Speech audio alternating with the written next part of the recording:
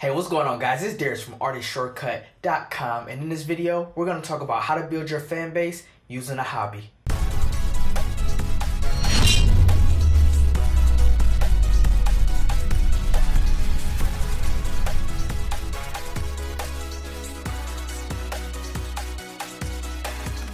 To build a fan base using hobbies, you need to look at your target audience. If you don't know how to find your target audience, I'll also link the video showing you how to find your target audience in the description below.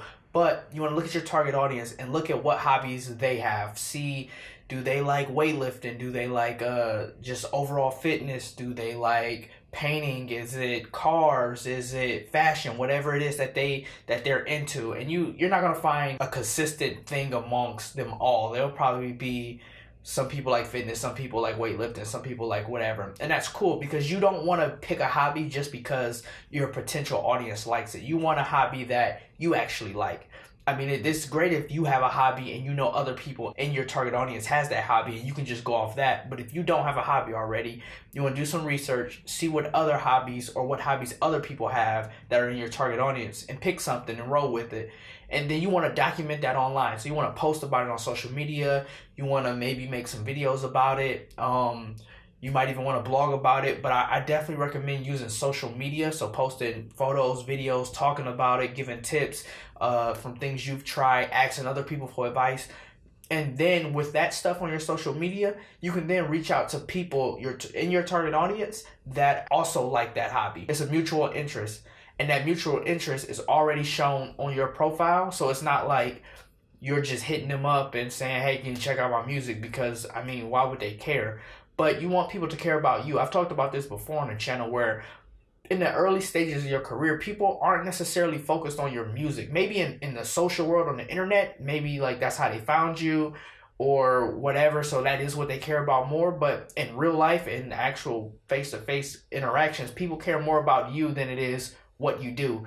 Um, for example, I invest in a lot of things that Elon Musk does, not because I understand all the Tesla and all the Hyperloop stuff, but just because I know that he does crazy things and I'm just there for the ride. You don't have to try so hard to promote your music.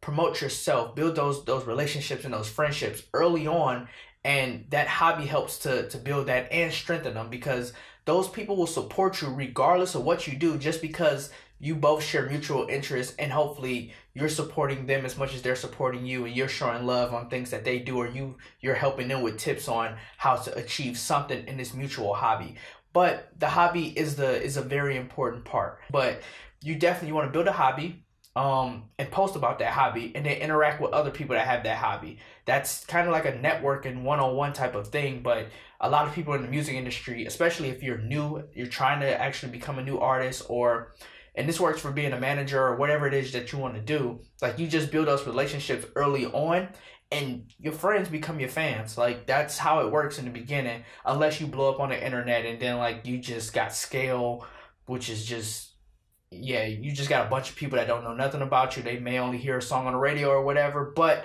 you want to build those relationships. Your friends become your fans. So guys, that is how you build a fan base. Um or a strategy for building a fan base. If you have any questions, please leave them in the comments below. Thumbs up the video, subscribe if you're not, and I'll talk to you guys again in about a week.